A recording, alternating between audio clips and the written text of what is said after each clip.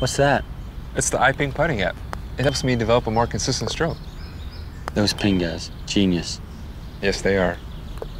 Download the iPing putting app, your ticket to more one putts.